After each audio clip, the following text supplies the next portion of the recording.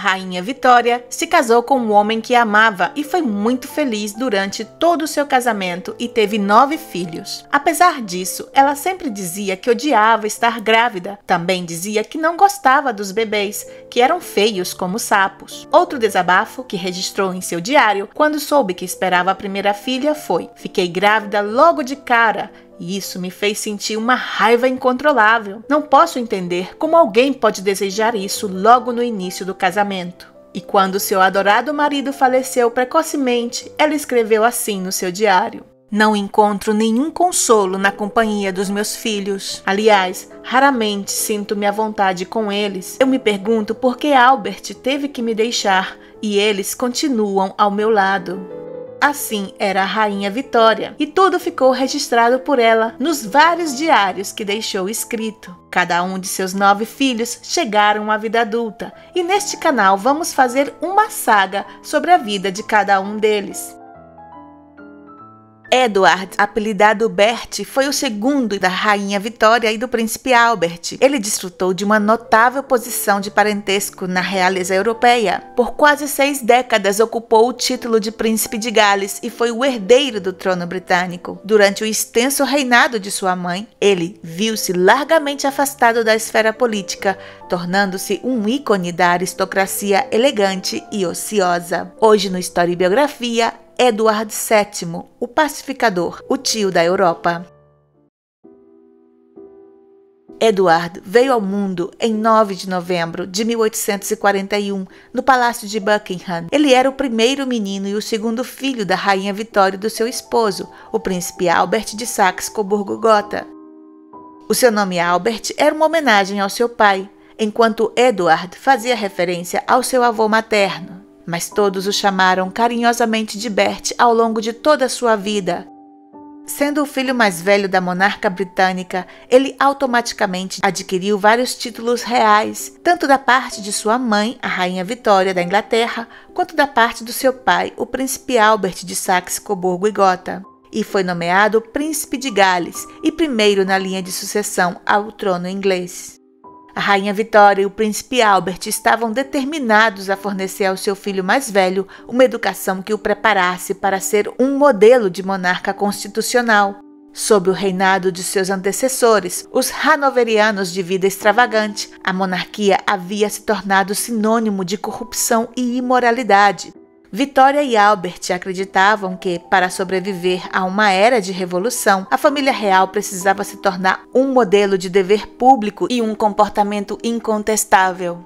Eles tinham plena consciência do legado imoral que os hanoverianos haviam deixado. No centro dos planos de Albert e Vitória estava o primeiro filho e herdeiro, Bert, o príncipe de Gales. Para preparar o garoto para a realeza, eles o submeteram a um rigoroso programa de esclarecimento moral e intelectual. O príncipe Albert, o pai do menino, tinha a ideia de que os príncipes deveriam ser quase super-humanos e ele desenvolveu um regime educacional para todos os seus filhos, no qual praticamente todos os momentos do dia eram preenchidos com experiências e aprendizado edificantes a partir dos três anos de idade. E constantemente eles enfatizavam a Bert que ele seria rei e que precisava ser bom, ter muito sucesso, e tudo o que ele fizesse tinha que ser aperfeiçoado.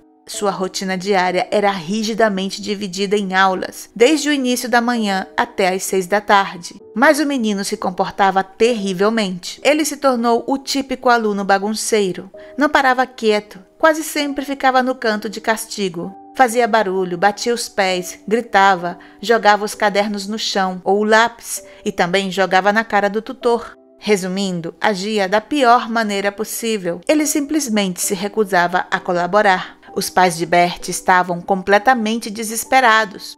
Sobre essa fase, o seu pai escreveu assim: Nunca em minha vida conheci um preguiçoso tão completo e astuto. Isso me entristece quando é o meu próprio filho e ele poderia ser chamado a qualquer momento para assumir as rédeas de um país onde o sol nunca se põe. E a rainha escreveu o seguinte: Infelizmente, o seu intelecto é fraco. Ele não ouve nada que lhe dizem, mas parece estar em uma espécie de sonho. O que nos preocupa é o seu cérebro. Vitória e Albert estavam realmente chateados, ansiosos e confusos com a recusa do seu filho em responder àquele plano educacional. Eles chamaram a um frenologista. A frenologia era uma pseudociência do século XIX que afirmava que, ao sentir os relevos na cabeça de uma pessoa, você poderia determinar algo sobre o seu caráter e a maneira como eram construídos. O frenologista examinou toda a cabeça do jovem Bert e declarou taxativamente que os seus centros de autoestima eram excessivamente desenvolvidos. O garoto é nervoso e excitável, com pouca capacidade de resistência ou ação sustentada em qualquer direção. O cérebro é fraco e anormal, tornando-o propenso a acessos de raiva e teimosia. Mas apesar de tudo isso, aos 17 anos, Bert foi enviado para a universidade.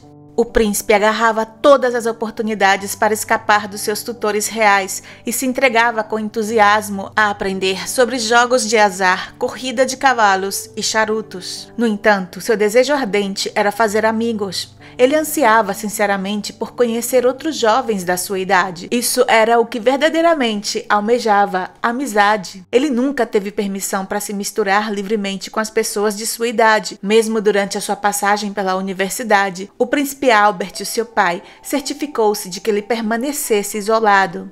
Isso o fez crescer em solidão, uma condição extremamente desafiadora, pois por natureza ele era uma pessoa incrivelmente extrovertida. Após uma viagem educativa a Roma nos primeiros meses de 1859, Edward passou o verão daquele ano estudando na Universidade de Edimburgo. Em outubro, ele se matriculou em Oxford. Agora, liberto das restrições educacionais impostas pelos seus pais, ele desenvolveu um genuíno interesse pelo estudo e obteve um desempenho satisfatório em seus exames. Estudou história, uma matéria que ele realmente apreciava, pois as notas que tirou resultaram nas melhores realizações acadêmicas da vida dele.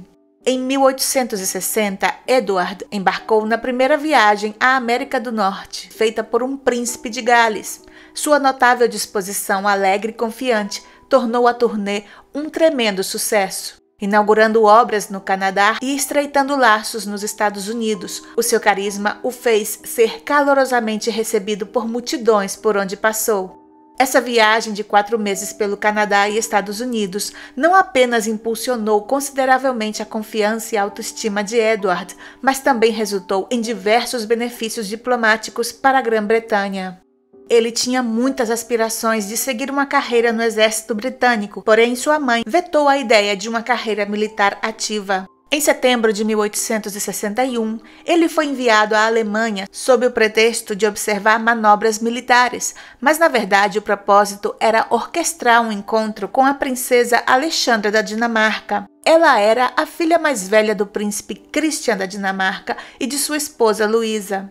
A rainha Vitória e o príncipe Albert já haviam decidido que Edward e Alexandra deveriam se casar. Eles se conheceram com a mediação de sua irmã mais velha, Vitória. Seguindo as estritas instruções de sua mãe, a irmã de Edward foi conhecer a princesa Alexandra e teve uma ótima impressão dela. O encontro entre o jovem casal foi extremamente proveitoso para ambas partes. Eles se gostaram e instantaneamente se tornaram amigos, e isso impulsionou o progresso dos planos de casamento. Mas naquela época já havia ganhado uma reputação de playboy, de modo que o príncipe Albert decidiu colocar o seu filho na linha com um pouco de vida militar. Bert foi ordenado a participar de um acampamento no exército. Mas se seu pai esperava que o treinamento militar fosse a salvação do seu filho, ele ficou muito desapontado. Pouco tempo depois da chegada de Bert, os seus colegas oficiais colocaram nos seus aposentos uma jovem atriz chamada Nellie Clifden. A tentação foi grande para Bert e ele mergulhou de cabeça nos encantos daquela bela e jovem mulher que estava em sua cama, e eles tiveram um relacionamento. Enquanto seu pai ficou sabendo, logicamente ficou horrorizado e preocupado, pois aquilo era sem dúvida algo que podia ameaçar os seus planos de uma monarquia sóbria e digna. Escrevo para você com o coração pesado sobre um assunto que me causou a dor mais profunda. Eu já sabia que você era um insensato e fraco, mas não podia imaginar que fosse um depravado. Esse é um pequeno trecho da cartinha que o príncipe Albert enviou para o filho.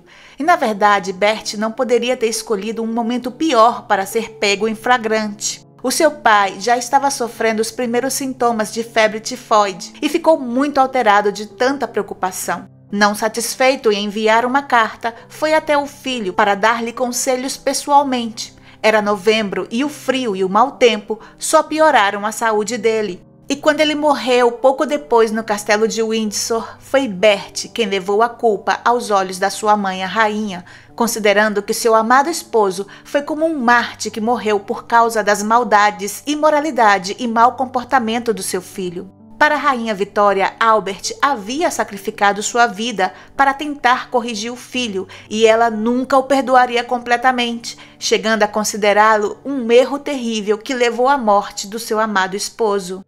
E isso teve um efeito profundamente negativo no relacionamento entre mãe e filho. Victoria chegou a dizer que não suportava nem ficar no mesmo recinto que o filho. E o príncipe nunca desfrutaria de um relacionamento caloroso com a sua mãe, que nos seguintes 40 anos seria frio e distante. A rainha ficou inconsolável, vestindo roupas de luto pelo resto de sua vida.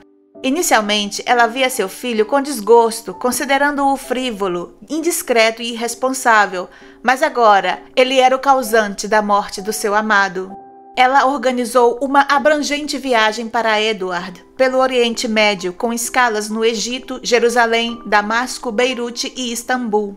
Após o regresso à Grã-Bretanha, os preparativos de seu noivado foram feitos e oficializados em 9 de setembro de 1862. Em 1863, o príncipe de Gales, com 21 anos, contraiu matrimônio com uma dinamarquesa amante da diversão.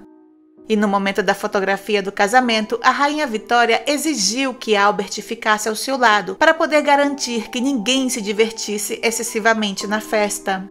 O jovem casal se estabeleceu em sua luxuosa residência, a Marlborough House, e eles logo se tornaram o epicentro da alta sociedade de Londres, envoltos em um constante ciclo de festas, jantares e entretenimento. A verdadeira personalidade de Bert começou a se revelar. Consciente de que não possuía a sagacidade do seu pai e nem a autoridade de sua mãe, no entanto, exibia certo charme e uma habilidade natural para lidar com as pessoas. Era considerado uma ótima companhia, bem educado e articulado, alguém agradável que todo mundo queria ter ao seu lado.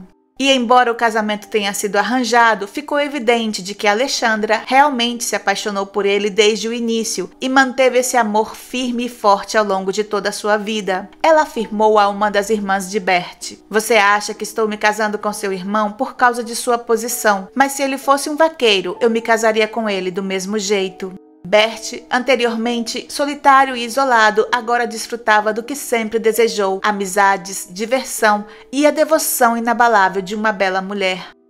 Apesar de ser o primogênito, ele tinha ambições não realizadas. Aspirava a ter um papel importante nos assuntos de Estado, mas a sua mãe o via como irresponsável e incapaz. Ele desejava ter acesso a documentos governamentais, especialmente correspondências diplomáticas, devido ao seu interesse na política externa.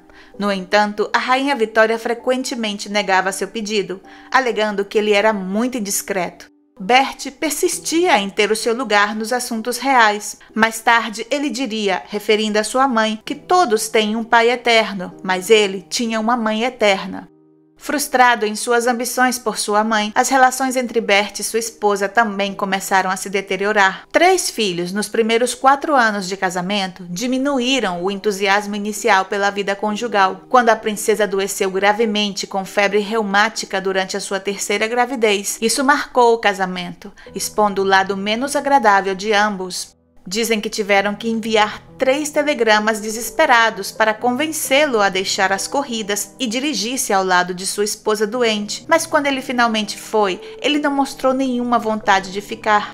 A reação de Bert não foi das melhores e ele foi muito criticado. Saía noite após noite, prometendo voltar quando ela acordasse, porém, frequentemente retornava apenas às três da manhã. Enquanto isso, ela sofria muito com aquele descaso dele. A doença deixou a princesa com sérias sequelas físicas, afetando a sua mobilidade e audição. Além disso, exacerbou as tensões em seu relacionamento com o príncipe. Ele parecia confuso, egoísta e centrado apenas em si mesmo. Por outro lado, a rainha Vitória não gostava nada daquela agitada vida social e demonstrou preocupações em relação ao estilo de vida do filho e da nora, fazendo de tudo para controlar diversos aspectos, incluindo a escolha dos nomes de seus filhos. Nos anos seguintes, Alexandra se tornaria cada vez mais reclusa, vivendo atrás dos portões de sua residência em Sandringham, enquanto Bert buscava satisfação emocional e física em outros lugares. Ele realmente adorava a companhia de mulheres e tinha muitas amantes. Há diversas histórias sobre as suas viagens a Paris, onde frequentava os bordéis mais famosos. Um dos seus locais frequentados era o Café Anglais, onde se dizia que ocorriam orgias. No Moulin Rouge, a sua chegada provocava furor entre as trabalhadoras do local. Um bordel notório chamado Le Chabanet era outra de suas visitas regulares, e parece que era lá que existia uma cadeira que ficou conhecida como a cadeira de Bert, que foi projetada para facilitar as atividades sexuais sem muito esforço. Ele também tinha o hábito de compartilhar uma banheira em forma de cisne, cheia de champanhe, com uma dama de sua escolha. Um extravagante ritual que certamente faria seu pai se revirar no túmulo. As frequentes viagens de Bert a Paris lhe permitiam desfrutar dos seus vícios longe da vista de sua esposa, mãe e dos olhos curiosos da imprensa britânica. No entanto, em 1870, sua vida secreta foi revelada de maneira pública. Em 1869, o príncipe de Gales começou a flertar com Lady Harriet Mordaunt, uma jovem de 21 anos casada com um proeminente membro do parlamento. Ele a visitava à tarde em uma carruagem de aluguel para ser mais discreto. Instruções foram dadas aos criados para negar o acesso a outros visitantes. Naquele verão, o marido de Harriet partiu para uma viagem de pesca na Noruega, Bert aproveitou a oportunidade para passar um tempo com Harriet em sua propriedade de campo. No entanto, naquele ano, a pesca do salmão na Noruega foi muito ruim e Sir Charles, o marido de Harriet, retornou inesperadamente e os viu juntos. Furioso, ele ordenou que o jardineiro matasse os pôneis brancos que os dois haviam passeado e forçou a esposa a testemunhar a cena. O príncipe bateu em retirada e Harriet, em lágrimas, confessou ao esposo ter tido relações com o príncipe de Gales e também com outros homens. Isso desencadeou a ira de Sir Charles, o marido, que jurou se divorciar dela. Bert estava prestes a enfrentar a desgraça em um julgamento público de divórcio, que se tornou manchete nos jornais da época. No entanto, a princesa Alexandra recusou-se a acreditar no pior de seu marido, como revelam algumas cartas que ela escreveu para sua irmã. Minha doce Minnie, preciso te contar um terrível escândalo que chocou todos aqui, mais do que as palavras podem expressar. É um homem, Charles Mordant, um verdadeiro bruto, que quer se separar de sua esposa. Ela se acusou de infidelidade e mencionou o meu Bert como amante. Ver seu próprio marido acusado de uma forma tão escandalosa é quase insuportável. O escândalo foi um acontecimento notável na opinião pública da era vitoriana, representando uma crise para a monarquia. Em 23 de fevereiro de 1870, um tribunal ouviu o príncipe negar qualquer má conduta com Lady Mordaunt, mas o dano à reputação do príncipe e da coroa já estava feito. Quanto a Harriet, a jovem esposa, sua família, preocupada com a vergonha, optou por afirmar que ela estava mentalmente perturbada. Isso foi visto como uma forma de preservar a honra da família. Era muito melhor do que a ideia de uma jovem considerada promíscua. Lady Harriet foi internada em um hospício e ficou lá até falecer 36 anos depois.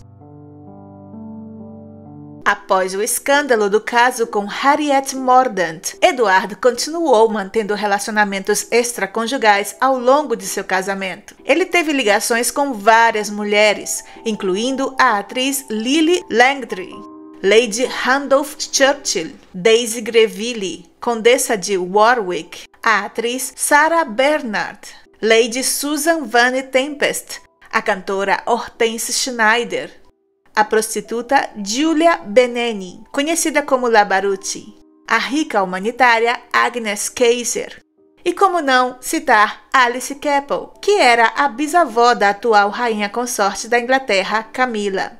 Estima-se que Edward tenha tido mais de 50 amantes, e embora ele sempre tenha tido cuidado em manter esses casos em segredo, isso não evitava que a sociedade fofocasse ou que a imprensa especulasse. Alexandra estava ciente dos seus casos e aparentemente os tolerava. A rainha Vitória ficou profundamente desapontada ao ver esse escândalo e o comportamento libertino do seu filho. Isso só a fortaleceu em sua crença de que ele não era adequado para o trono. Ela falou: ele não é absolutamente adequado para ser um rei. Ele é um devasso, completamente inútil. Devo manter todo o poder em minhas mãos, pois nada a ele pode ser confiado. Na verdade, Vitória sempre esteve relutante em compartilhar responsabilidades, mesmo com Albert, o seu marido a quem tanto amava. Como resultado, ela fez todo o possível para evitar que o seu filho assumisse qualquer dever sério. Alguns líderes governamentais concordavam com essa postura da rainha. Disraeli, um dos seus primeiros ministros, por exemplo, resistia em entregar documentos sensíveis a Bert, pois ele tinha a tendência de compartilhá-los durante jantares, pedindo opiniões de convidados, o que era uma conduta totalmente inapropriada. Mas Bert ficava cada vez mais insatisfeito com a recusa de sua mãe em envolvê-lo em assuntos do Estado e expressou sua frustração em uma carta ao seu secretário particular. Enquanto à imprensa e ao público, Bert muitas vezes foi retratado, na época, como um bebê em um carrinho, Todos sabiam que ele não estava autorizado a se envolver profundamente nos negócios sérios do Estado. Naturalmente, isso era muito doloroso para ele, e talvez, em resposta a isso, ele redirecionou todo o seu foco para desfrutar dos prazeres da vida. No entanto, Edward desempenhou um papel pioneiro nas aparições públicas da realeza, estabelecendo um precedente para cerimônias reais como as conhecemos hoje, participando de cerimônias de inauguração e eventos sociais representando a Casa Real. Mas era só isso. A sua mãe não lhe permitiu assumir um papel ativo no governo do país até 1898. Ela fornecia resumos de documentos importantes do governo, mas sempre negava o acesso aos originais. Em 1971, Alexandra, a princesa de Gales, deu à luz seu último filho, Alexander John, que faleceu apenas 24 horas após o seu nascimento. Edward, emocionalmente afetado, insistiu em colocar pessoalmente o pequeno filho em seu caixão, com lágrimas escorrendo por seu rosto. Nesse mesmo ano aconteceu outro evento trágico durante o inverno de 1871, que mudou a percepção do público em relação a Edward e melhorou seu relacionamento com a sua mãe. Ele contraiu febre tifoide, a mesma doença que havia matado seu pai. Essa situação causou uma grande preocupação em todo o país. Um dos seus colegas, que adoeceu junto com ele, chegou a falecer. Enquanto esteve doente, teve a companhia de sua esposa em todo momento. E a sua irmã Alice, que também era uma boa enfermeira, esteve ao seu lado. E finalmente, quando se recuperou, a notícia foi recebida com um alívio quase universal. Em 26 de setembro de 1875, Edward partiu para uma extensa viagem de oito meses com destino à Índia.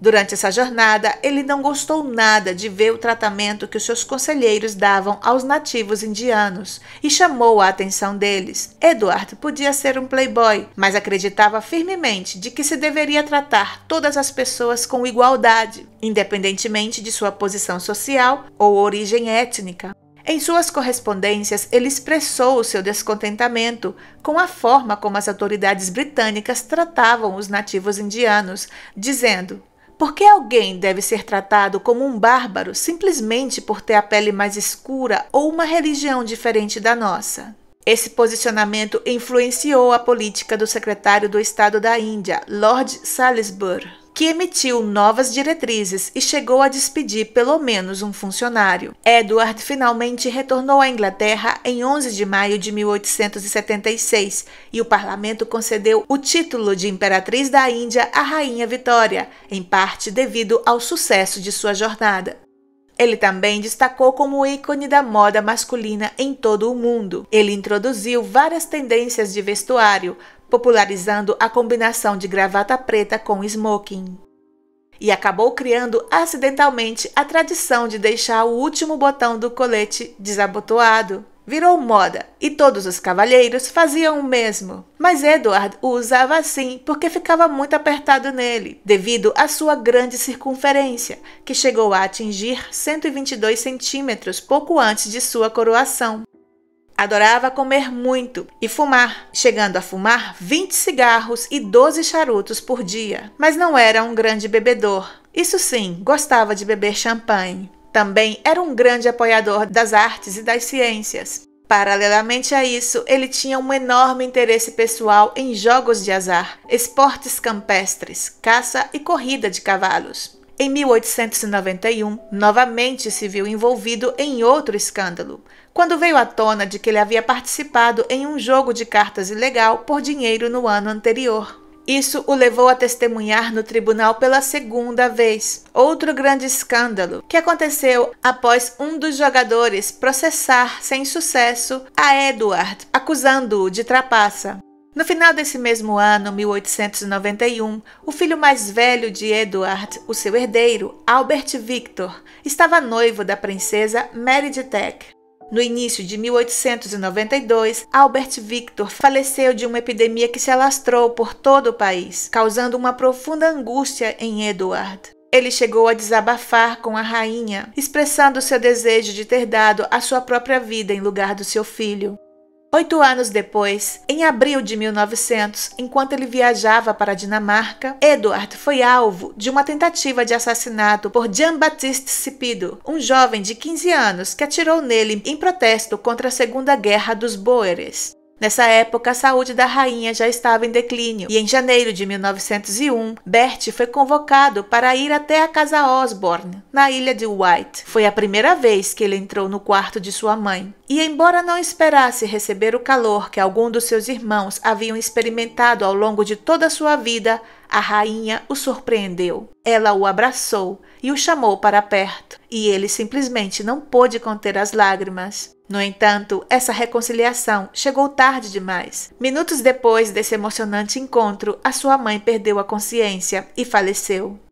Finalmente, o grande momento havia chegado. O eterno príncipe havia se tornado rei da Grã-Bretanha. Além disso, ele adotou o título de imperador da Índia e introduziu uma inovação ao tornar-se o rei dos domínios britânicos. O luto pela morte da Rainha Vitória era profundo, em parte devido à presença constante dela na vida de todos e também à preocupação sobre que tipo de rei o seu filho se tornaria. Pairavam dúvidas sobre a capacidade de Bert para assumir com dignidade a coroa. A percepção geral era de que ele não estava à altura da tarefa. O novo monarca, o rei Eduardo VII, constratava fortemente em termos de imagem pública com sua mãe. Aos 59 anos, ele tinha uma reputação de frivolidade.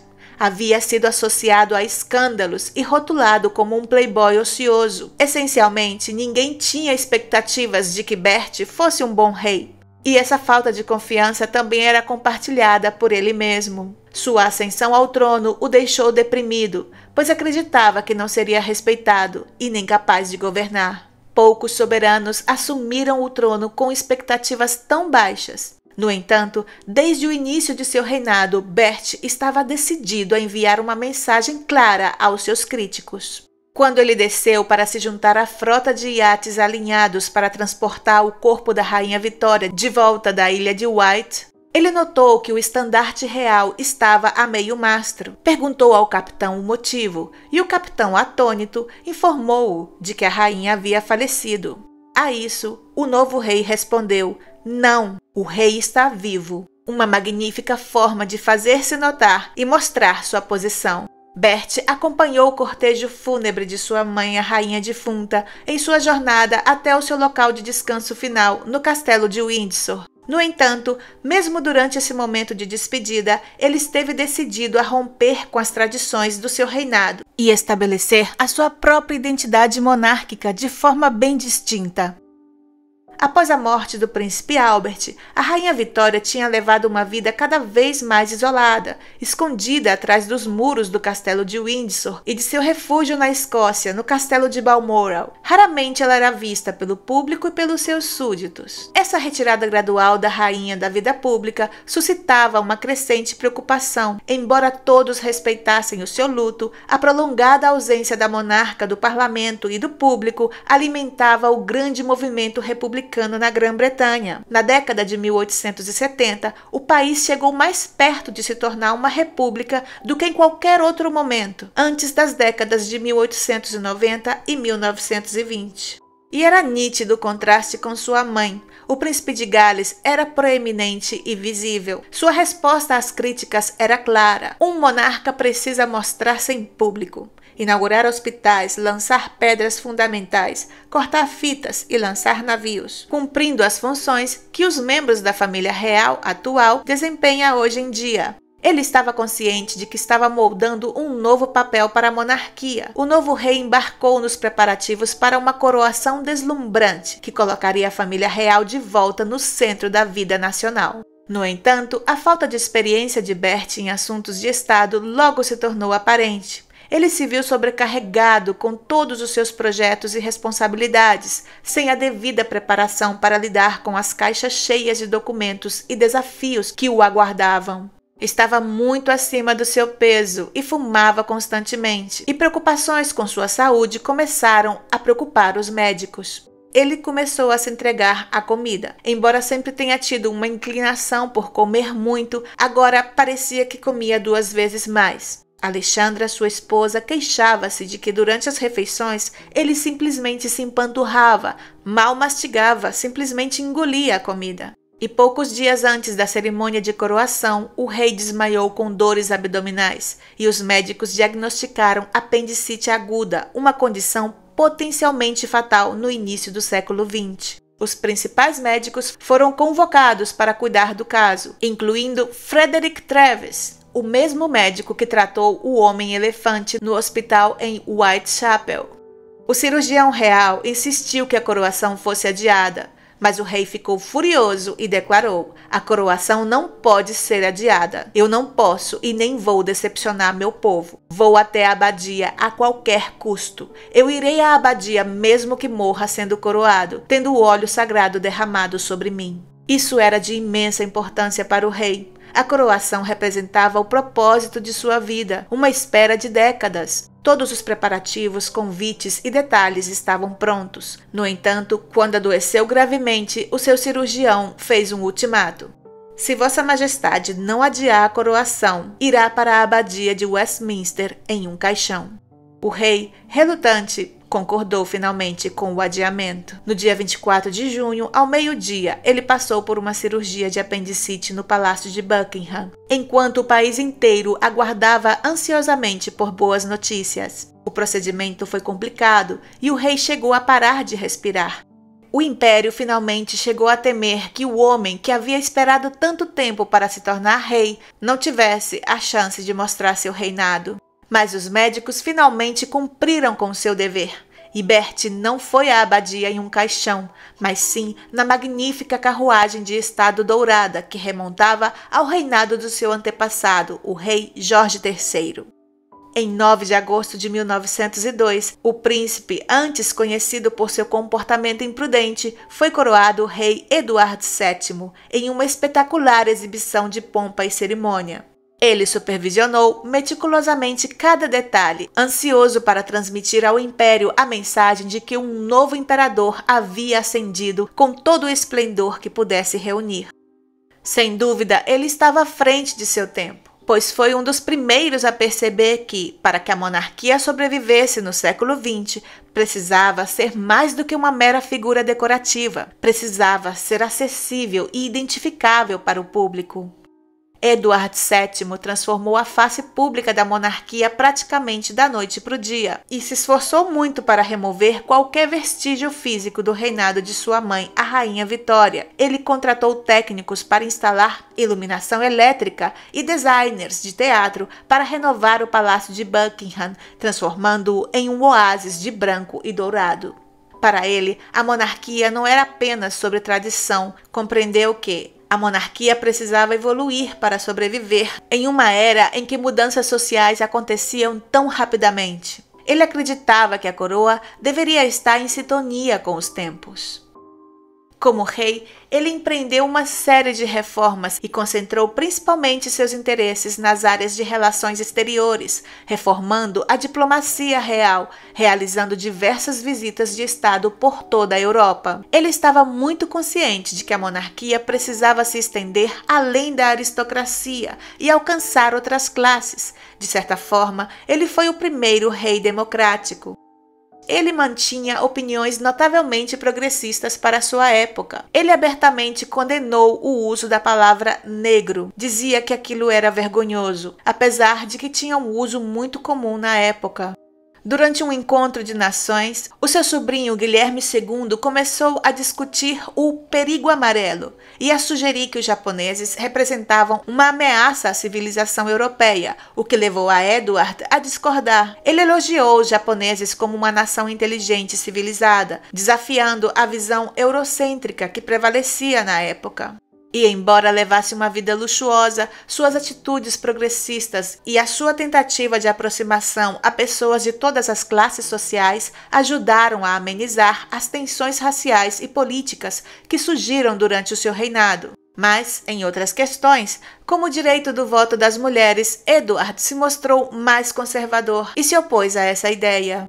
Ele estava emparentado com a maioria dos outros monarcas europeus, o que lhe rendeu o apelido de Tio da Europa. Ele era tio de Guilherme II, o imperador alemão, Nicolau II, o imperador russo, e as suas sobrinhas incluíam a rainha Vitória Eugênia da Espanha, a princesa herdeira Margarida da Suécia, a princesa herdeira Maria da Romênia e a imperatriz Alexandra da Rússia. O rei Haakon VII da Noruega também era seu sobrinho e genro. Além disso, ele tinha cunhados como Frederico VIII da Dinamarca e George I da Grécia, além de primos de segundo grau como os reis Albert I da Bélgica, Fernando da Bulgária, Carlos I e Manuel II de Portugal. Sempre teve uma boa ou excelente relação com todos eles, exceto com um, o seu sobrinho Guilherme II, o imperador alemão. O relacionamento entre eles era muito conturbado e exacerbou as tensões entre a Grã-Bretanha e a Alemanha. Nos primeiros anos do século XX, uma questão dominava a política externa britânica acima de todas as outras a Alemanha. Sob o comando de seu problemático sobrinho, o Kaiser Guilherme II, estava construindo suas forças armadas a uma velocidade aterrorizante. O Kaiser era um homem muito difícil e estava bastante paranoico, mas Bert sabia que não seria possível para ele ou para qualquer outra pessoa conter a Alemanha. Ele também compreendia que o Kaiser nunca seria um amigo confiável. Portanto, ele percebeu de uma forma clara que a guerra representava um perigo real. Ele nunca desejou a guerra, sempre tentou manter as melhores e mais cordiais relações com todos os países, chegando a ser chamado de o pacificador. Mas sentia que, se a guerra fosse inevitável, a Grã-Bretanha precisava estar preparada. Preocupado, ele foi atrás de aliados. Em maio de 1903, o rei Eduardo VII empreendeu uma missão diplomática secreta a Paris, um local que já lhe era muito conhecido e querido desde sua juventude mantendo seus planos em total sigilo. Nem mesmo seus secretários foram informados. Ao chegar à estação de trem, ele foi recebido por multidões francesas incrivelmente hostis, já que os britânicos eram muito impopulares na França na época. A multidão vaiou o rei e os jornais pediram que ele retornasse à Inglaterra, relembrando todos os conflitos históricos entre aqueles dois países. No entanto, o amor do rei pela cultura e pelas belas mulheres parisienses finalmente mostrariam ser benéficos.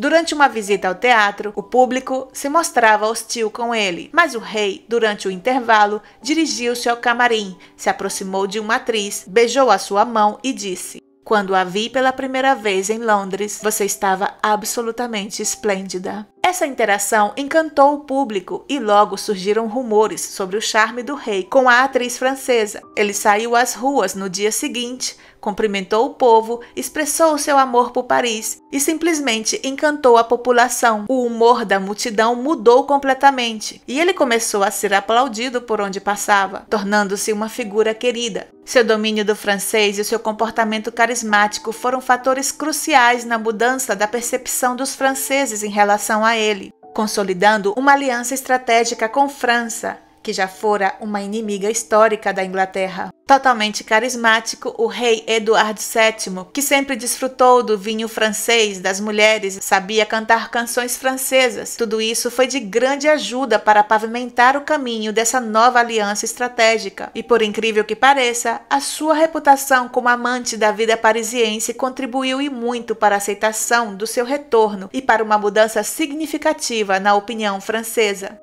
apoiou os almirantes que defendiam a construção de uma nova geração de navios de guerra.